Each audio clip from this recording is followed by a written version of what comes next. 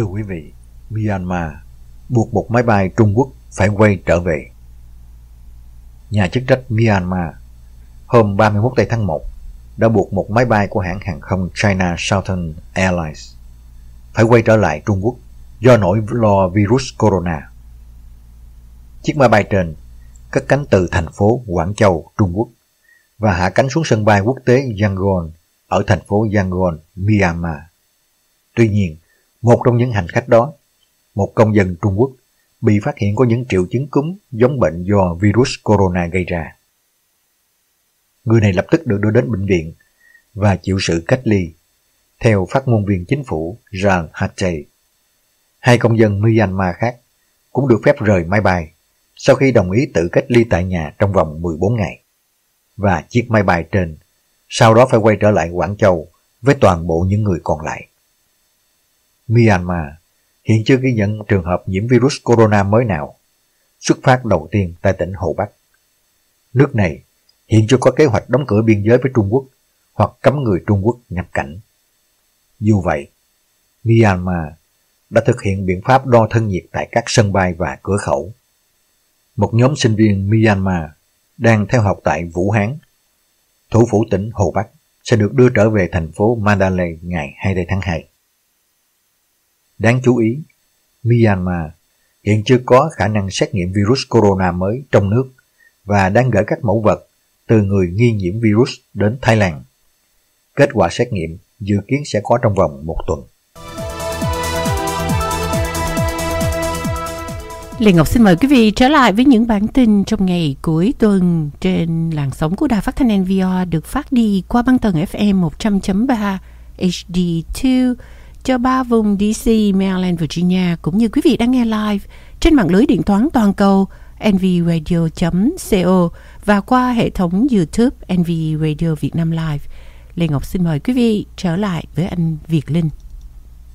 Thưa quý vị, cả thế giới có thể mất hàng trăm tỷ Mỹ Kim vì dịch viêm phổi corona. Quy mô kinh tế Trung Quốc tăng và GDP được dự báo giảm mạnh quý 1 đồng nghĩa dịch virus corona có thể gây ra thiệt hại gấp vài lần dịch SARS.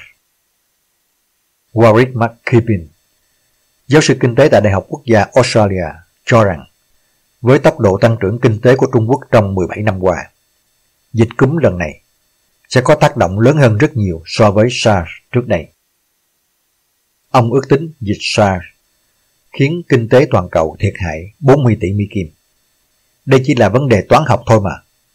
McKibbin cho biết trên Bloomberg hầu hết GDP mất đi trong dịch SARS, cả theo mô hình và trên thực tế, đều là do kinh tế Trung Quốc giảm tốc. Vì thế, khi quy mô nền kinh tế này lớn hơn, thiệt hại cũng sẽ lớn theo. Năm 2003, Trung Quốc chỉ đóng góp 4% GDP toàn cầu. Nhưng hiện tại, tỷ lệ này đã lên 17%. Đồng nghĩa tác động lan tỏa nếu kinh tế Trung Quốc lao dốc sẽ lớn hơn. Dù khó đưa ra con số chính xác, do cuộc khủng hoảng vẫn đang diễn ra, McKibbin cho rằng ảnh hưởng của việc này chủ yếu do sự thay đổi về tâm lý con người. Sự hoảng loạn dường như là mối đe dọa lớn nhất với nền kinh tế hơn là số người tử vong, ông cho biết. Vào đầu tuần này, thưa quý vị, công ty quản lý tài sản Amundi Asset Management cũng ra báo cáo nhưng định các thị trường toàn cầu đang chịu ảnh hưởng khi nhà đầu tư hoảng loạn. Virus viêm phổi, corona, đã chấm dứt đà tăng kéo dài vài tháng qua trên các thị trường chứng khoán. Dự báo của ông McKibbin cũng khớp với nhiều nhà phân tích khác. Nomura International cho rằng mức độ bị kéo tụt của kinh tế Trung Quốc có thể vượt xa bệnh dịch SARS. Hồi quý 2 năm 2003, tăng trưởng của Trung Quốc giảm tới 2% so với quý trước đó. Còn theo Bloomberg Economics, GDP Trung Quốc có thể chỉ tăng 4,5% trong quý này, giảm so với 6% của cuối năm ngoái. Sang quý 2, tốc độ này sẽ hồi phục, giúp GDP cả năm tăng 5,7%. Dù vậy con số này vẫn thấp hơn so với 6,1% của năm 2019 và 5,9% so với dự báo trước đó. bệnh viêm phổi Vũ Hán lây lan nhanh hơn dịch SARS, nhưng gây tử vong ít hơn. Chính quyền tỉnh Hồ Bắc, miền Trung Trung Quốc, hôm nay thông báo có thêm 42 ca tử vong, nâng số người chết do dịch viêm phổi lên đến 259. Số người nhiễm virus tại nước này đã tăng lên 11.360. Thưa quý vị, Mỹ nâng khuyến cáo đi lại lên mức cao nhất, không tới Trung Quốc. Sau khi Tổ chức Y tế Thế giới công bố tình trạng khẩn cấp toàn cầu do coronavirus mới, Bộ Ngoại giao Mỹ vừa nâng khuyến cáo đi lại đối với Trung Quốc lên mức số 4, tức là mức cao nhất, có nghĩa là không đi tới đó. Nguyên văn khuyến cáo mà Bộ Ngoại giao Mỹ đưa ra sáng 31 tây tháng 1 thì không tới Trung Quốc vì coronavirus mới được xác định lần đầu tiên ở Vũ Hán, Trung Quốc. Ngày 30 tây tháng 1, Tổ chức Y tế Thế giới đã xác định dịch lây lan nhanh cấu thành tình trạng khẩn cấp y tế công cộng quốc tế. Những người đi lại cần phải chuẩn bị cho lệnh hạn chế đi lại sẽ có hiệu lực mà có rất ít hoặc không có thông cáo trước. Các hãng vận chuyển thương mại đã giảm hoặc đình chỉ các tuyến đường đến và rời Trung Quốc. Những người hiện ở Trung Quốc cần cân nhắc rời nước này bằng các phương tiện thương mại. Bộ Ngoại giao yêu cầu tất cả các nhân viên chính phủ Mỹ ở những vị trí không trọng yếu hoãn tới Trung Quốc vì coronavirus mới. Tuần trước, Bộ Ngoại giao Mỹ ra lệnh cho tất cả các nhân viên Mỹ ở những vị trí không cấp thiết và thành viên gia đình của họ ở Vũ Hán rời khỏi Trung Quốc. Theo lệnh sơ tán này, hôm 30 tháng 1, gần 200 người Mỹ trên một chuyến bay thuê bao hạ cánh xuống một căn cứ quân sự ở bang California. Sáng 31 tháng 1, một chuyến bay chở công dân Hàn Quốc ở Vũ Hán đã hạ cánh xuống sân bay Gimpo ở thủ đô Seoul. Hàn Quốc đã sơ tán 367 công dân của mình khỏi Vũ Hán. Có khoảng 700 người Hàn Quốc ở Vũ Hán đăng ký về nước. Ban đầu, Hàn Quốc có kế hoạch thực hiện hai chuyến bay thuê bao để đưa công dân về nước, nhưng chính phủ Trung Quốc mới chấp thuận một chuyến bay mà thôi. Theo Bộ Ngoại giao Hàn Quốc, nước này đang gửi viện trợ nhân đạo khẩn cấp trị giá 5 triệu Mỹ Kim cho Trung Quốc. Trong khi đó, chính phủ Canada đang gấp rút giúp gần 200 công dân nước này ở Trung Quốc trở về nhà.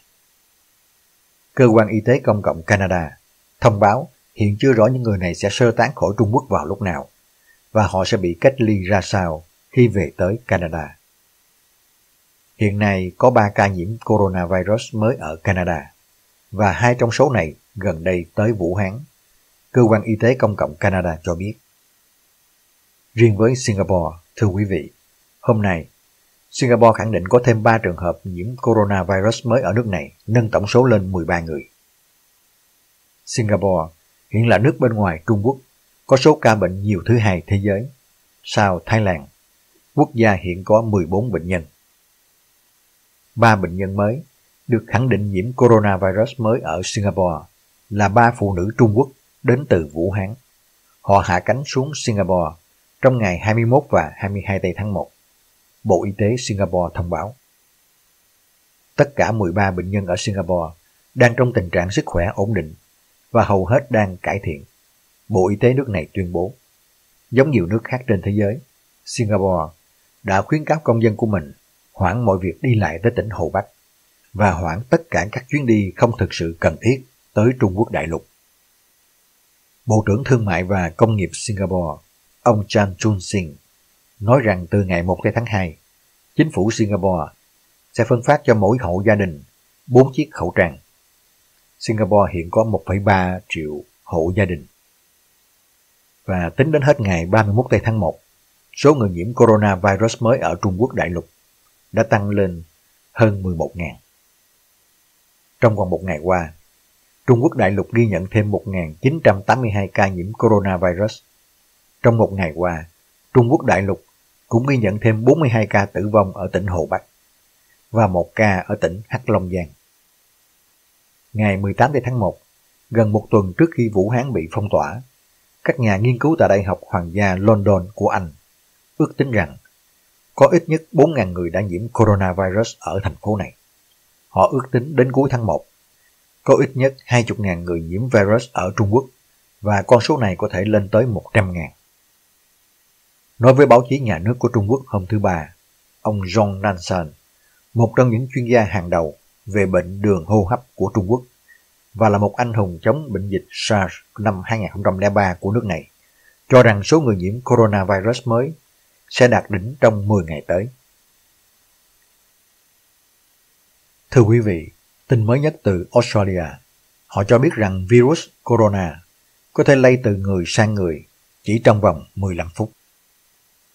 Khác với các loại virus lây trong không khí, có thể di chuyển xa, thì virus corona lây lan khi người nhiễm bệnh ho hay hắt hơi bắn nước bọt.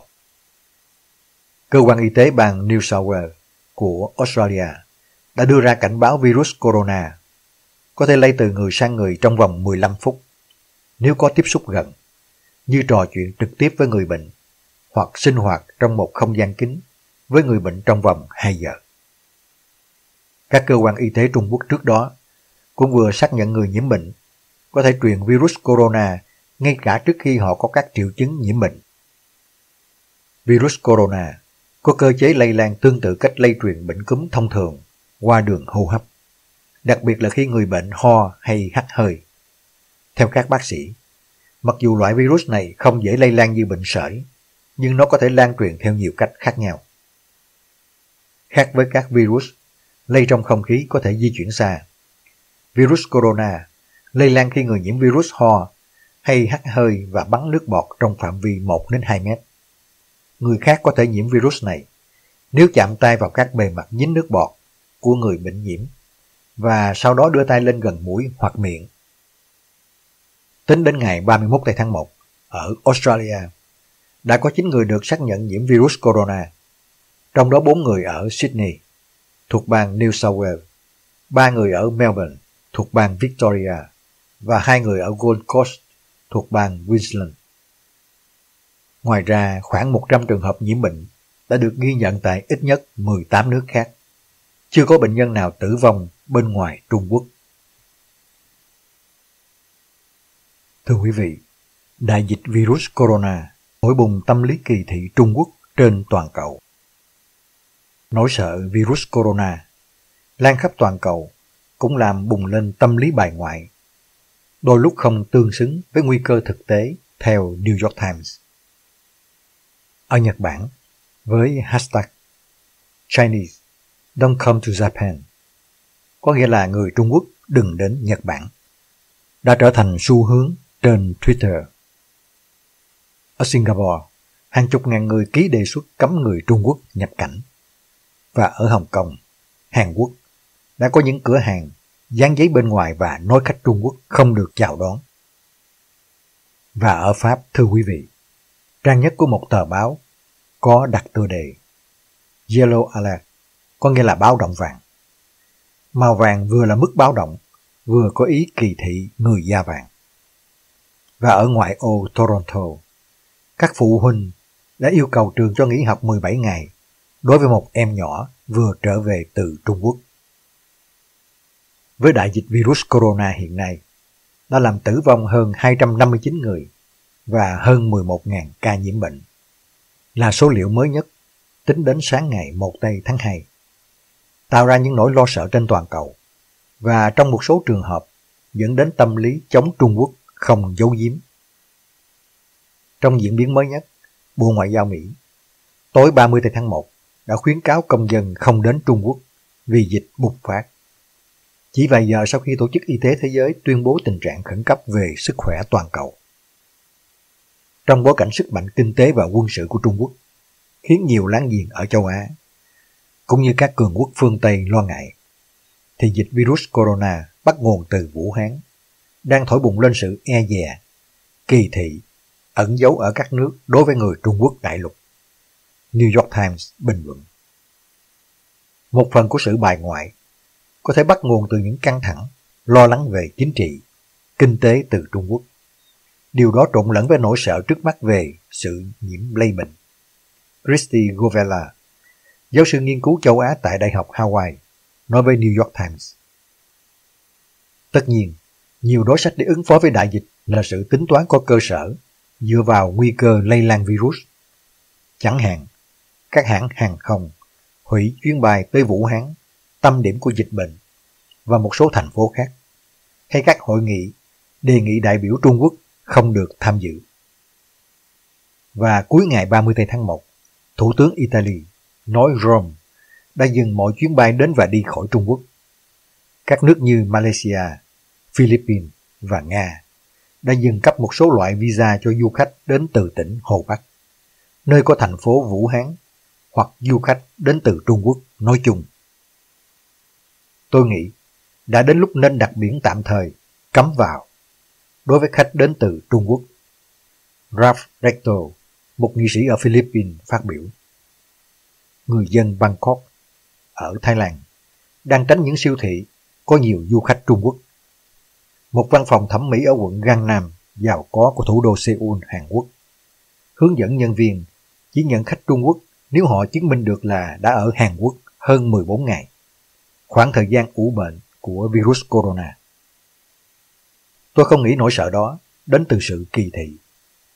Yaeko Suenaga, 70 tuổi, phục vụ một nhà hàng sushi, có 90% khách Trung Quốc ở Tokyo, nói rằng đây là nỗi lo chính đáng của việc bị lây của loại virus có thể dẫn đến chết người.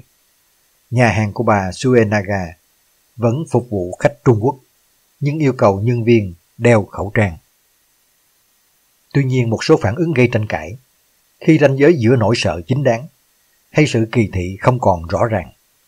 Chẳng hạn như tiệm bánh dán một tấm biển không phục vụ khách Trung Quốc hay khách sạn từ chối nhận khách Trung Quốc. Chủ nhà hàng Kwon Win ở Hồng Kông tuyên bố trên Facebook rằng sẽ chỉ phục vụ khách nói tiếng Anh hoặc tiếng Quảng Đông.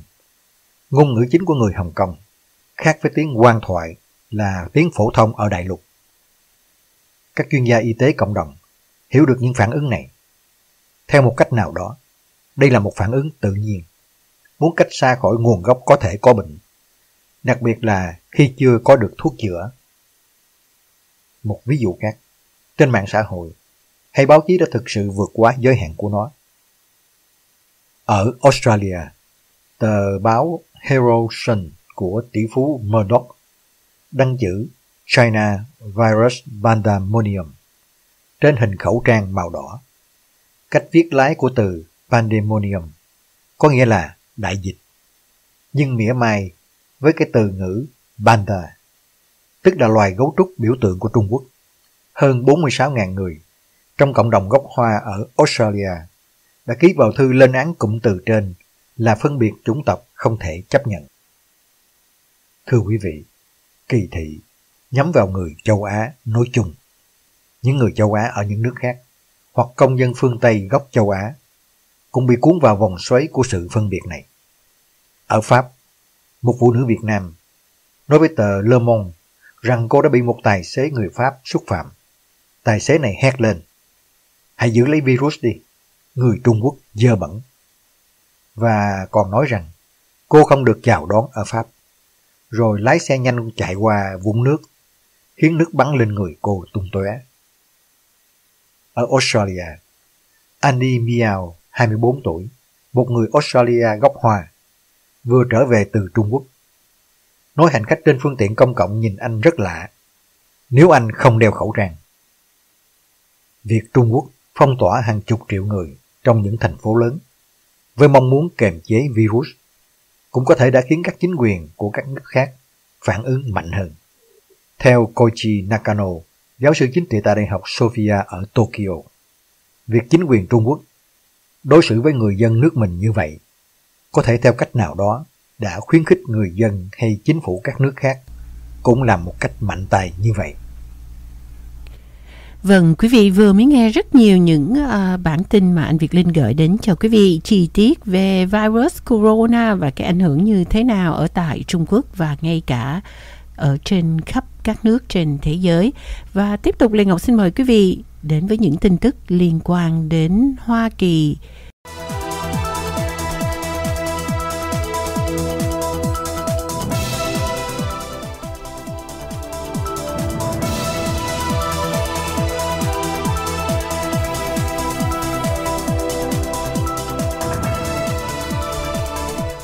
Mời quý vị trở lại với những bản tin trong ngày cuối tuần thì thưa quý vị, một cái phát giác mà phát giác này là cho chúng ta thấy được có một con đường hầm ngầm về vấn đề buôn lậu mà dài nhất ở biên giới giữa Mỹ và Mễ.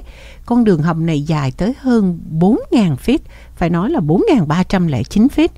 Thì nhà chức trách ở ngay tại tiểu bang California đã phát giác ra con đường hầm này xuyên biên giới giữa Mỹ và Mễ dài nhất cho từ trước cho đến nay. Thì thưa quý vị, ở cái con đường hầm này người ta thấy có cả thang máy ở ngay lối vào, một hệ thống đường rầy và xe đẩy, đường dây điện, hệ thống gió và thoát nước nằm sâu 70 feet dưới lòng đất và trải dài 4.309 feet tức là hơn 1.313 mét nối từ một khu công nghiệp ở Tijuana của Mexico đến San Diego của California.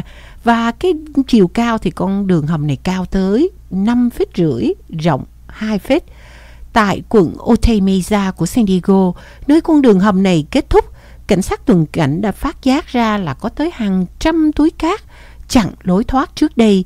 Và đường hầm chính có một nhánh chưa có được xây dựng xong nhà chức trách thực thi công lực đã phát giác ra lối vào của đường hầm này từ năm 2019 vào tháng 8 và lực lượng đặc nhiệm về đường hầm San Diego bao gồm trong đó có cả tuần cảnh biên giới, rồi đơn vị điều tra của Bộ Nội an, cơ quan thực thi ma túy và văn phòng biện lý của Hoa Kỳ đã lên một cái bản đồ vẽ đường hầm này từ Mexico.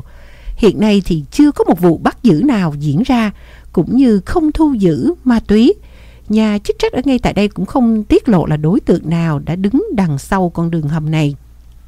Nhưng Sinaloa của Mexico đã được Hoa Kỳ liệt vào một trong những tổ chức buôn bán ma túy lớn nhất trên thế giới, hoạt động trong khu vực này và tên trùm của Sinaloa lãnh đạo lâu đời của tổ chức này, đó chính là Joaquin El Chapo Guzman đang thụ án tù chung thân ở ngay tại nước Mỹ.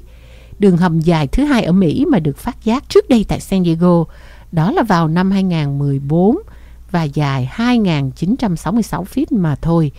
Thì trong năm tài khóa vừa mới qua đây năm 2019, San Diego đã thu giữ được cho tới 3.273 pound cần sa, giảm 80, 58% so với trước vào năm 2018 số cocaine thu giữ được cũng giảm 30% xuống còn khoảng 1.284 pound.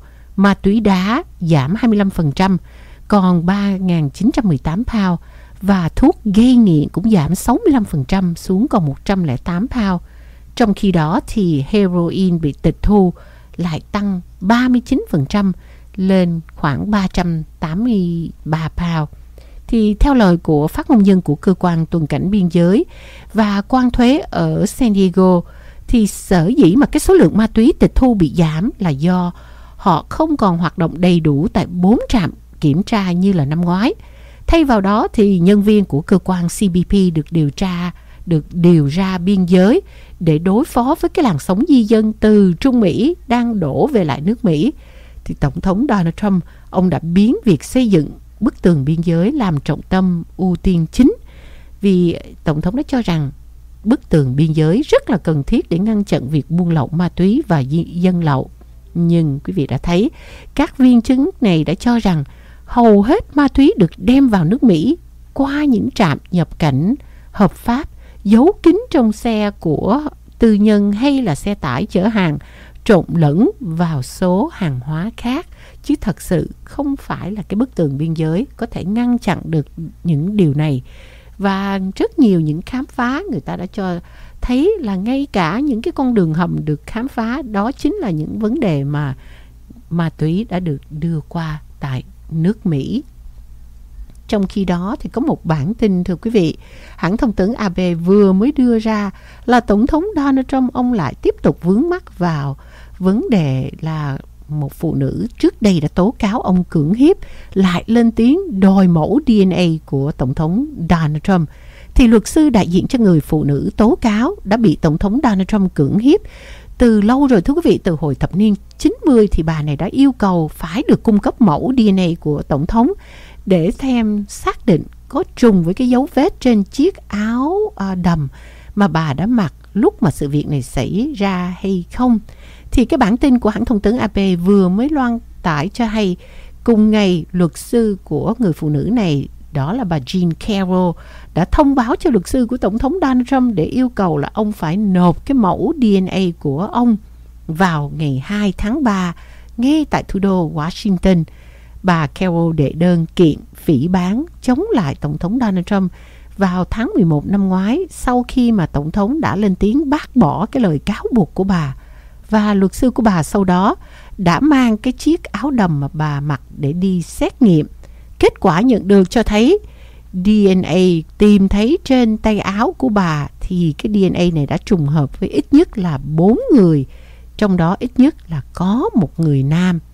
Thì sự kiện này lại Ngọc trở lại để mà quý vị à, biết rõ là vào năm ngoái bà Carol đã tố cáo là bà đã bị Tổng thống Donald Trump cưỡng hiếp trong phòng thay đồ của một cửa hàng sang trọng ở ngay tại Manhattan vào những năm 1990.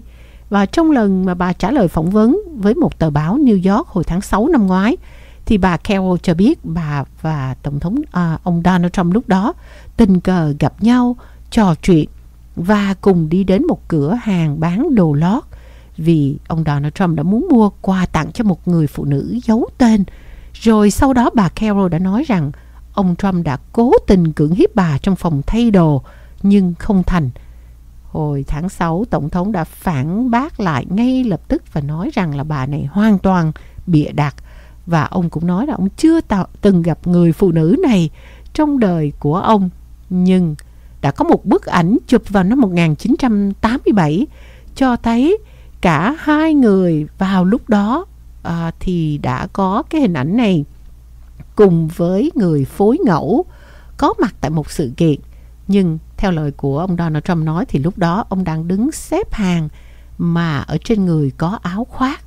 Và ông Donald Trump đã nói là cái động cơ của bà Carol chỉ vì bà này muốn bán sách mà thôi. Từ những cái sự việc này thì tiếp tục thưa quý vị sau cái lời cáo buộc của bà Carol với lời phản bác của Tổng thống Donald Trump thì tháng 11 của năm 2019 bà đã đệ đơn kiện ông Trump với cáo buộc là lăng mạ và gây tổn hại đến sự nghiệp viết sách của bà khi mà Tổng thống đã gọi bà là kẻ xảo trá. Do đó, luật sư của bà Carol cho biết việc yêu cầu để lấy mẫu DNA của Tổng thống Donald Trump đó là một việc một cái thủ tục rất là thông thường để mà tiến hành điều tra vụ tấn công về tình dục.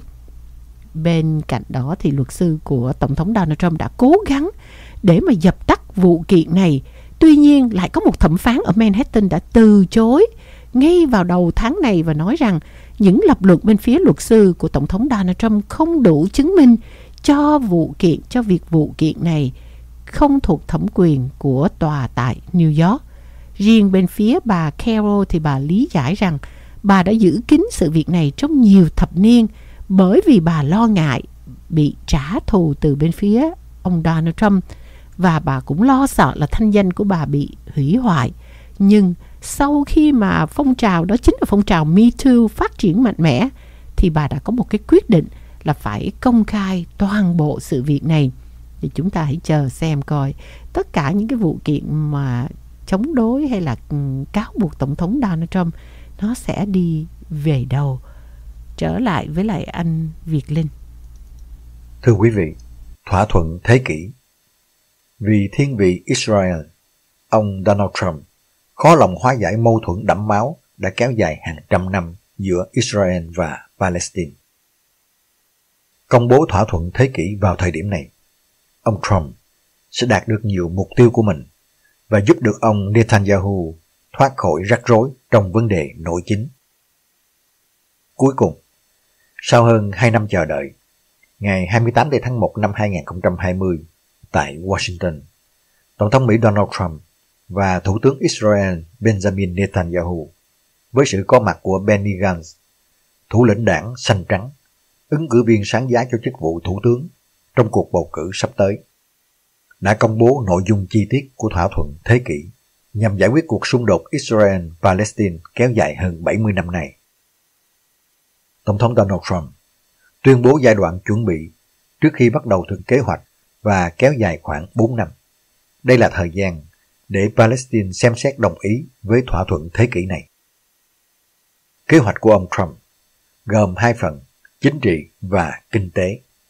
Kế hoạch này công nhận hai quốc gia, Ả Rập và Do Thái. Lãnh thổ của Palestine sẽ bao gồm bờ Tây và giải Gaza, được nối với nhau bằng một con đường cao tốc xây ngầm dưới mặt đất. Một tấm bản đồ nhà nước Palestine tương lai được đính kèm theo kế hoạch này. Theo kế hoạch này, 30 đến 40% lãnh thổ bờ Tây sẽ thuộc về Israel, 40% sẽ thuộc về Palestine. Quy chế của khoảng 30% lãnh thổ còn lại vẫn chưa được xác định. Tuy nhiên, Mỹ đã nói rõ với Jordan và chính quyền Palestine rằng những vùng lãnh thổ này sẽ trở thành một phần của nhà nước Palestine trong tương lai. Như vậy, Palestine sẽ chiếm 70% lãnh thổ bờ Tây và Israel sẽ chiếm khoảng 30%. Tất cả các khu định cư của người Do Thái sẽ vẫn được giữ nguyên, bao gồm cả 15 khu định cư ở xa không gắn liền với các vùng lãnh thổ, cũng sẽ được sáp nhập vào Israel. 60 chốt tiền đồn trên vùng lãnh thổ bờ Tây với khoảng 3.000 người định cư sinh sống sẽ được dỡ bỏ.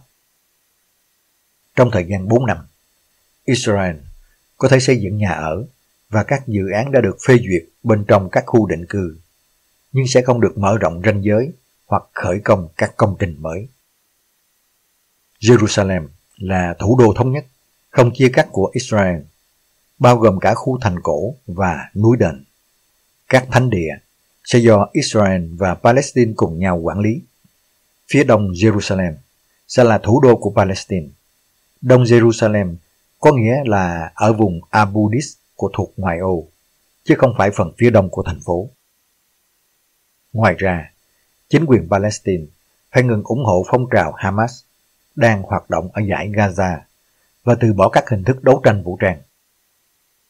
Israel sẽ đóng băng chương trình xây dựng các khu định cư do Thái trên lãnh thổ Palestine trong 4 năm. Thời gian này được dành để đàm phán về việc hình thành nhà nước Palestine. Phần kinh tế trong kế hoạch của ông Trump là cung cấp 50 tỷ Mỹ Kim cho các dự án khác nhau ở bờ Tây và giải Gaza, cũng như ở Ai Cập, Jordan và Lebanon. Để thực hiện mục tiêu này, một quỹ đầu tư sẽ được thành lập để hỗ trợ các dự án này trong 10 năm. Nước Mỹ không loại trừ kế hoạch này có thể được hoàn thiện có tính đến quan điểm của tất cả các bên. Theo Jared Kushner, cố vấn cấp cao và là con rể của ông Trump, các điều khoản trong thỏa thuận thế kỷ không phải là cuối cùng và có thể được bổ sung thông qua đàm phán. Thưa quý vị, như vậy, mục tiêu của Tổng thống Donald Trump khi đưa ra kế hoạch hòa bình là gì? Việc Tổng thống Donald Trump và Thủ tướng Netanyahu công bố thỏa thuận thế kỷ vào thời điểm này được coi là một hành động nhất cử lưỡng tiền. Thời điểm đưa ra thỏa thuận thế kỷ là thuận lợi về mặt chính trị đối với cả ông Trump và Netanyahu vì những rắc rối chính trị, pháp lý giống nhau và các cuộc bầu cử sắp xảy ra tại Mỹ và Israel. Tổng thống Donald Trump đang bị luận tội trước Quốc hội. Cuộc vận động tranh cử tổng thống ở Mỹ đã được khởi động. Kế hoạch hòa bình đã được chuẩn bị từ hơn 2 năm nay, nhưng bây giờ mới đưa ra. Mục đích trước tiên của ông Trump là nhằm giảm bớt sự chú ý của dư luận đang chĩa vào ông và sau đó là sự tranh thủ, ủng hộ của giới Do Thái trong chính quyền và xã hội Mỹ trong cuộc bầu cử tổng thống diễn ra vào tháng 11 năm 2020 sắp tới. Việc công bố kế hoạch giải quyết cuộc xung đột giữa Israel và Palestine của Tổng thống Donald Trump diễn ra vào thời điểm hết sức quan trọng đối với cả Thủ tướng Netanyahu, người đang phải đối mặt với phiên tòa về tội tham nhũng, hối lộ, gian lận và cũng đang muốn tranh cử lại thêm một nhiệm kỳ nữa tại cuộc bầu cử vào ngày 24 tháng 3 năm 2020 sắp đến. Kế hoạch này có thể giúp ông Netanyahu tránh được một phiên tòa xét xử ông và tranh thủ được sự ủng hộ của các đảng cực hữu đang chiếm đa số tại chính trường Israel. Trong trường hợp ông Netanyahu thất cử, thì Tổng thống Donald Trump vẫn giữ được quan hệ với Benny Gantz, thủ lĩnh đảng xanh trắng, người cũng được mời đến Tòa Bạch Ốc dự lễ công bố kế hoạch hòa bình. Thưa quý vị, phản ứng của các nước Ả Rập và quốc tế đối với kế hoạch hòa bình của ông Trump ra sao? Dư luận Ả Rập và quốc tế đã có những phản ứng khác nhau về kế hoạch hòa bình của Tổng thống Donald Trump giữa những nước bác bỏ và ủng hộ việc nghiên cứu kế hoạch này một cách cẩn thận trước khi phán xét. Các quốc gia Trung Đông phản ứng khác nhau về kế hoạch hòa bình của ông Trump. Palestine, kể cả phong trào Fatah và Hamas, là một bên trong cuộc xung đột. Syria, Iran, Thổ Nhĩ Kỳ đã bác bỏ kế hoạch này. Trong khi đó, các nước khác như Ả Rập Saudi, các tiểu vương quốc Ả Rập Thống nhất UAE, Bahrain, Jordan, Qatar, Oman, Ai Cập, Morocco tỏ ra ủng hộ thỏa thuận nhưng không thể hiện rõ ràng. Các nước này đánh giá cao các cố gắng của Mỹ trong việc tìm ra giải pháp cho cuộc xung đột Palestine-Israel.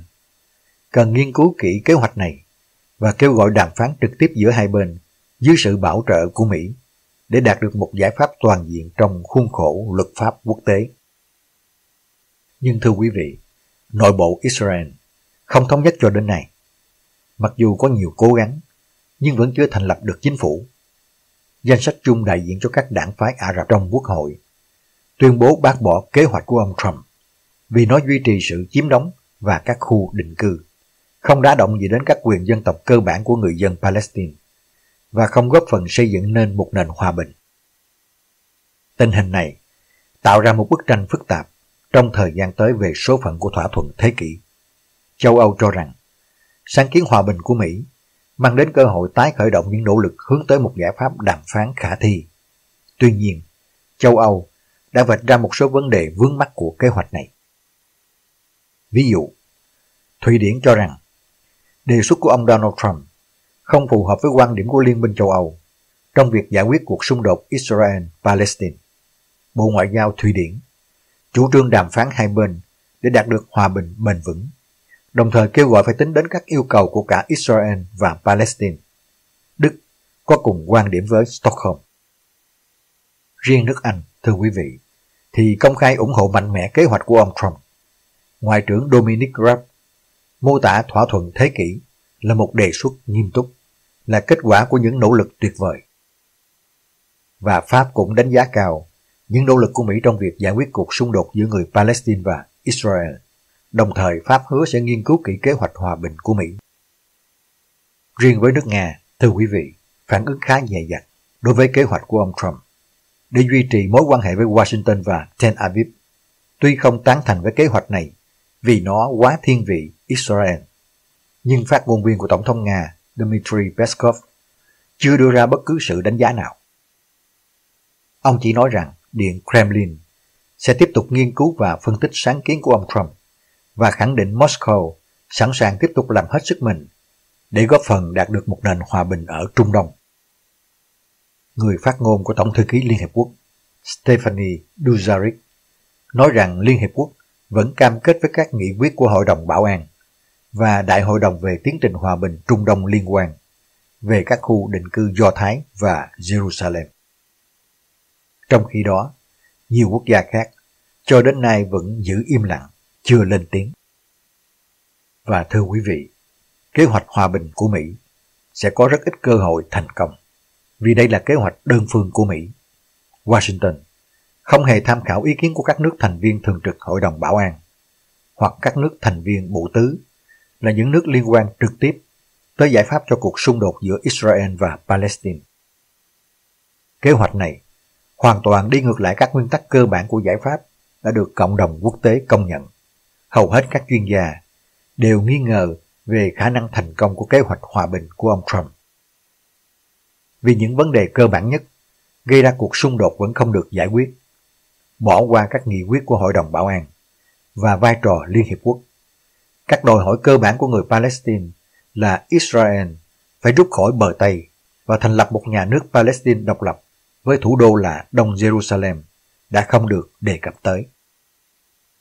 Theo kế hoạch của ông Trump, thì Jerusalem vẫn sẽ là một thủ đô thống nhất, không thể chia cắt của Israel, điều mà Tel Aviv luôn đòi hỏi và Palestine không chấp nhận.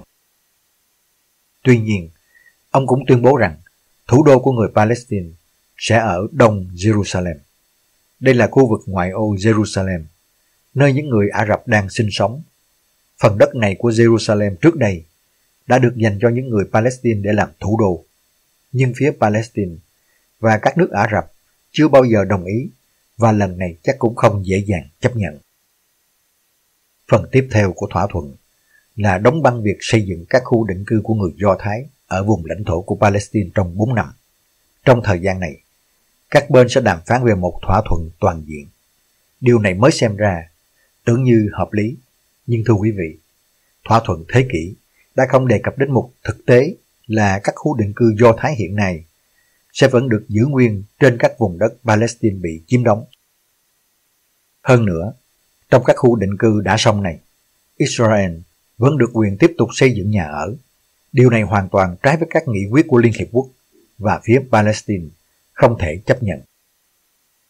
Kế hoạch của ông Trump nói rằng một thỏa thuận hòa bình với Tel Aviv hứa hẹn sẽ tăng lãnh thổ của nhà nước Palestine lên gấp hơn hai lần và Mỹ sẵn sàng mở đại sứ quán của mình tại thủ đô mới của Palestine. Tuy nhiên, vấn đề khó nhất ở đây là làm thế nào để bảo đảm lãnh thổ của nhà nước Palestine mới được thống nhất, không bị xé ra từng mảnh và có đường biên giới vững chắc nối liền với nhau.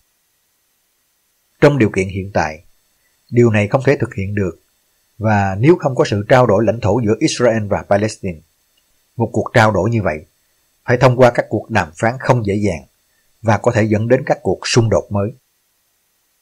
Và thưa quý vị, chắc chắn ông Trump sẽ không bao giờ lấy số tiền từ ngân sách của Mỹ để giúp Palestine, mà là thu thập từ các nhà tài trợ, chủ yếu từ các nước vùng vịnh và châu Âu.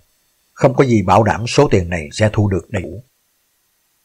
Theo kế hoạch hòa bình của Mỹ, nhà nước mới của Palestine sẽ không được quyền kiểm soát không phận, kiểm soát biên giới và tham gia vào các liên minh quân sự. Như vậy, quyền lực của nhà nước Palestine sẽ hết sức hạn chế. Cuộc xung đột Israel-Palestine sẽ là một trong những vấn đề phức tạp nhất trên thế giới hiện nay, với sự tham gia của nhiều bên liên quan. Một giải pháp cho cuộc xung đột này mà không có sự tham gia của các bên liên quan, trước hết là Palestine, và bị phía Palestine bác bỏ thì sẽ không thể nào thành hiện thực được thỏa thuận thế kỷ của ông Trump. Có thể rồi sẽ là một thỏa thuận nằm trên bàn giấy mà thôi. Và bên cạnh đó, thỏa thuận của Tổng thống Donald Trump về vấn đề tình hình tại Israel và Palestine thì thưa quý vị, cựu Tổng thống Mỹ ông Jimmy Carter đã lên tiếng và cho rằng cái kế hoạch hòa bình Trung Đông này đã vi phạm luật pháp quốc tế liên quan đến quyền tự quyết, việc chiếm đất bằng vũ lực – và sát nhập các vùng lãnh thổ bị chiếm đóng. Và bên cạnh đó một cái sự kiện mà ngay cả một cái phản ứng của Palestine thì theo lời của tổng thống Palestine ông đã lên tiếng sớm nhất trong ngày hôm nay là ông đã dọa cắt đứt cái quan hệ với Mỹ và Do Thái trong một bài phát biểu ở ngay tại cuộc họp của Liên đoàn Ả Rập diễn ra cùng ngày ở Cairo, Ai Cập thì nhà lãnh đạo của Palestine đã lên án bản kế hoạch hòa bình Trung Đông của Tòa Bạch Ốc. Trong ngày đầu của tháng 2 thì truyền thông của Ai Cập đã đưa tin là ông Mahmoud Abbas, tổng thống của Palestine, lên tiếng đe dọa cắt đứt mọi quan hệ an ninh với cả Mỹ và Israel.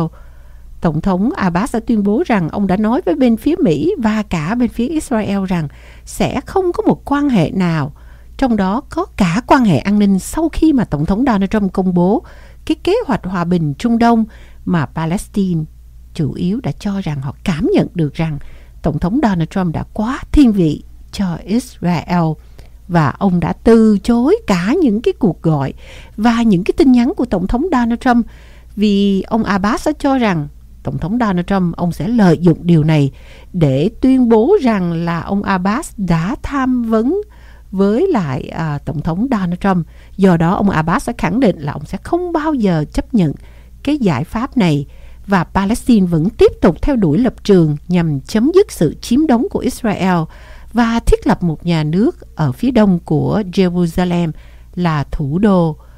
Và Tổng thống Abbas của Palestine cũng cho rằng là sẽ không chấp nhận Washington với tư cách đứng trung gian, là một nhà trung gian duy nhất trong bất kỳ cuộc đàm phán nào với bên phía Israel.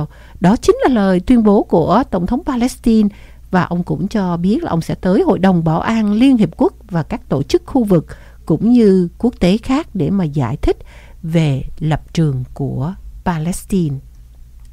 Và trở lại với kết quả cuộc bỏ phiếu uh, ngày hôm qua ở tại Thượng viện thì một lần nữa thưa quý vị Thượng viện Mỹ đã bác bỏ đòi thêm nhân chứng mở đường cho việc Tổng thống Donald Trump có thể được tha bổng và Thượng viện sẽ phán quyết có một cái phán quyết cuối cùng vào ngày 5 tháng 2 tuần tới tức là vào ngày thứ tư.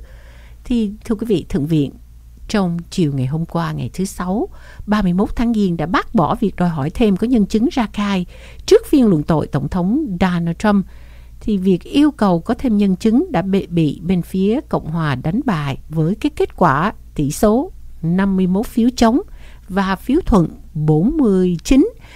Hy vọng là bên phía Dân Chủ có 4 vị ở bên phía Cộng Hòa thì đã không có được thưa quý vị. Chỉ có hai thượng nghị sĩ bên phía Cộng Hòa bỏ phiếu cùng với bên phía Dân Chủ đồng tình cho việc đưa nhân chứng ra. Đó là bà Susan Collins của tiểu bang Maine và ông Mitt Romney của Utah.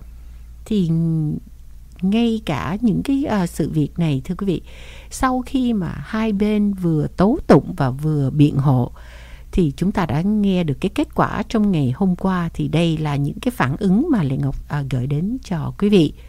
Từ bên phía dân chủ tiểu bang Florida đó là dân biểu Val Demings là một trong số các công tố viên của Hạ viện đã nói rằng cái hành động mà không cho gọi nhân chứng khiến cho việc tuyên bố Tổng thống Donald Trump trắng án vào tuần tới sẽ chỉ có một cái giá trị trên danh nghĩa mà thôi vì luận tội mà lại không có nhân chứng.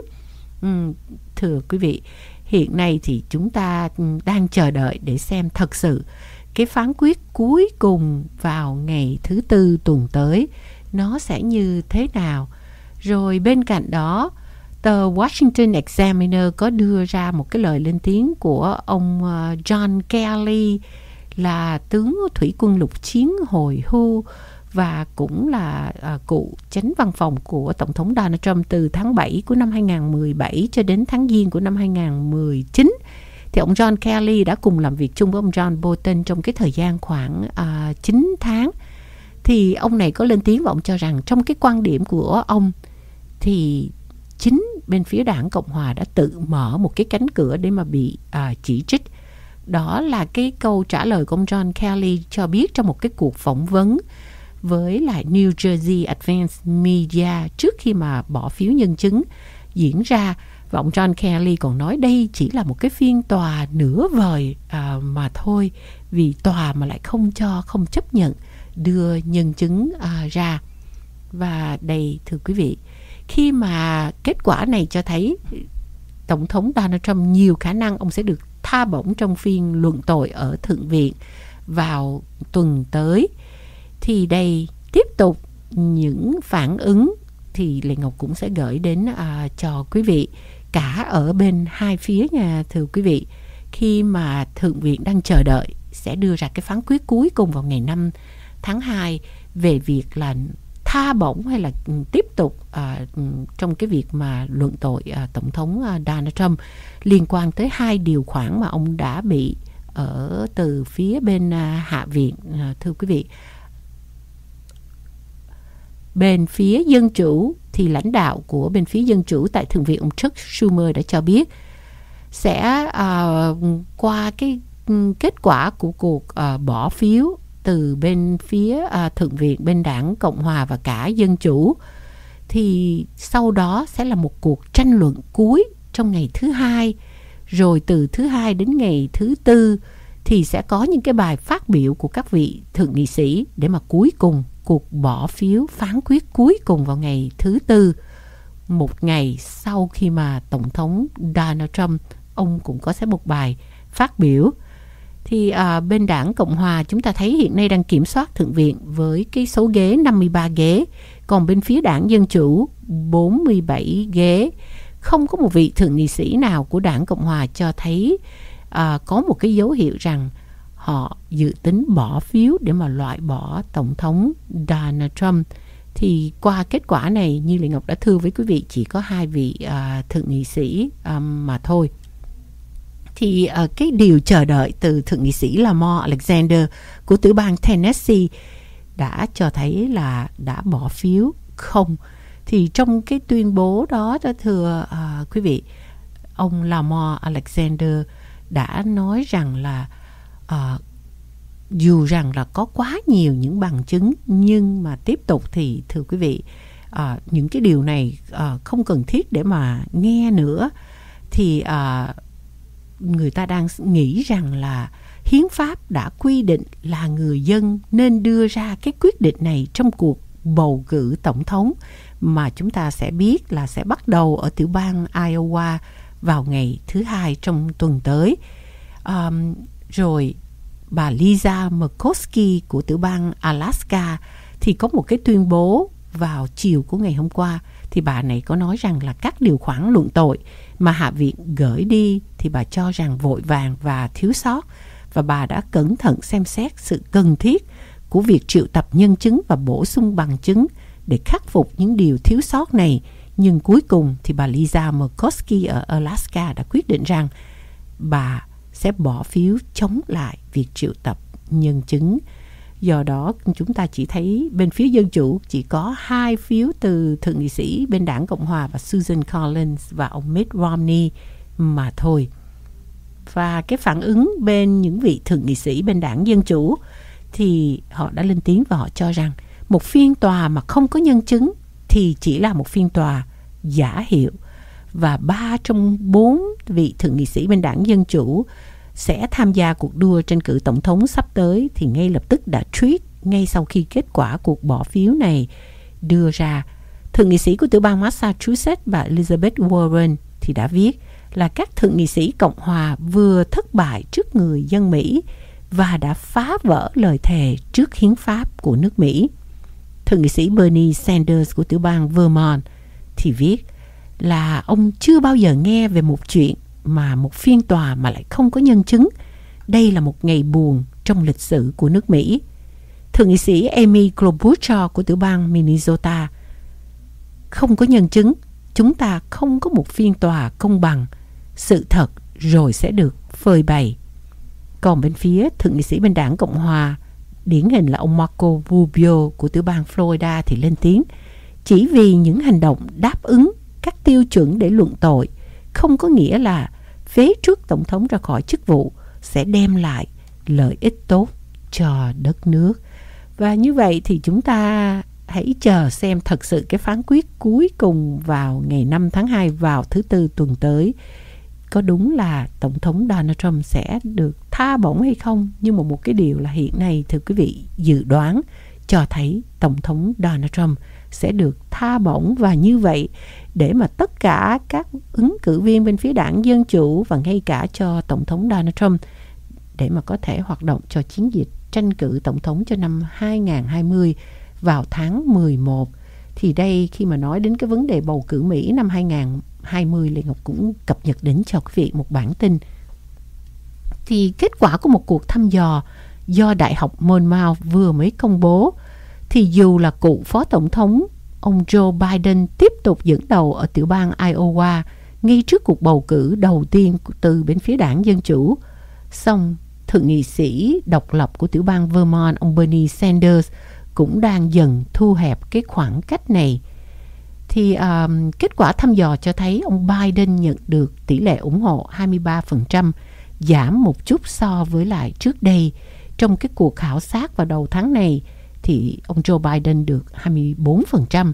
Tuy nhiên, vị trí của ông Biden đã bị bám sát bởi ông Bernie Sanders khi mà ông Sanders nhận được cái sự ủng hộ 21%, tăng 3 điểm kể từ cuộc khảo sát vào đầu tháng này. Trong khi đó thì cựu thị trưởng của thành phố South Bend của tiểu bang Indiana đó là ông Peter Buttigieg và thượng nghị sĩ của tiểu bang Massachusetts bà Elizabeth Warren thì xếp ở những vị trí tiếp theo khi mà lần lượt nhận được cái tỷ lệ ủng hộ là 16 và 15%. bà thượng nghị sĩ của tiểu bang Minnesota bà, e-, bà Amy Klobuchar thì tỷ lệ ủng hộ 10%, đánh dấu lần đầu tiên mà bà giành được một cái tỷ lệ ủng hộ lên tới hai số nha thưa quý vị ở tiểu bang Iowa kể từ khi mà bà Klobuchar công bố quyết định tranh cử tổng thống Mỹ. Cái kết quả của cuộc khảo sát này cho thấy cái cuộc đua tổng thống tại tiểu bang Iowa rất là rộng mở và hiện nay không có một ứng cử viên nào thật sự có một cái lợi thế rõ ràng khi bước vào cuộc bầu cử sơ bộ đầu tiên từ bên phía đảng Dân Chủ. Và bên cạnh đó thì có tới 45% những người tham gia cuộc khảo sát đã thể hiện một cái sự cởi mở hơn về việc lựa chọn ứng cử viên đề cử cho bên phía đảng Dân Chủ thì họ đã cho biết là họ quyết định chắc chắn về việc lựa chọn ứng cử viên của bên Dân Chủ. Và kết quả này đồng thời cũng cho thấy là bà Elizabeth Warren thường xuyên được đánh giá là người có một cái khả năng xếp ở vị trí thứ hai khi mà có tới 19% cử tri nói rằng sẽ ủng hộ cho bà Elizabeth Warren nếu không phải là lựa chọn số một của họ. Ông Biden chiếm vị trí thứ hai theo cái uh, tiêu chí này với 16%, trong khi mà ông Buttigieg đứng thứ ba với 13%. Uh, à, một cái điều mà họ vạch ra họ nói chú ý là chỉ có 11% số người được hỏi cho biết ông Bernie, ông Sanders là lựa chọn thứ hai của họ trong nội dung từ bên phía đảng Dân Chủ thì quý vị thấy được số 1 vẫn là ông Joe Biden và vị trí số 2 thì Lê Ngọc vừa mới gửi đến uh, cho quý thính giả. Thì chúng ta hãy chờ xem thật sự ai sẽ là nhân vật ứng cử viên được chọn lựa bên phía đảng Dân Chủ để mà có thể à, đối đầu với lại tổng thống Donald Trump. Và bên cạnh đó thưa quý vị những sự việc gì sẽ xảy ra với lại nhà tỷ phú Michael Bloomberg trong những ngày sắp tới? Thì Lê Ngọc xin mời quý vị tiếp tục theo dõi những bản tin của đài NVR để theo dõi được bầu cử tổng thống Mỹ năm 2020 sẽ diễn ra như thế nào. Một ngày cuối tuần thật là vui, hạnh phúc sẽ đến với lại tất cả quý vị thính giả của NVR. Lê Ngọc Sinh kính chào quý vị.